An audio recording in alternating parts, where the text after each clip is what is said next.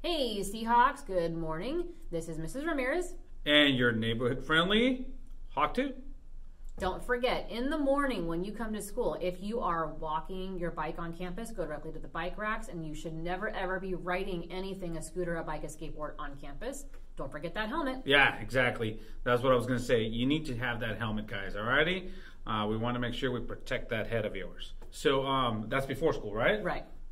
And then What- after school, don't forget that when you get your scooter, your bike, whatever out of the bike rack, you exit campus immediately. You may not hang out in front of school with a bike or a skateboard or a scooter, again, and put that helmet on.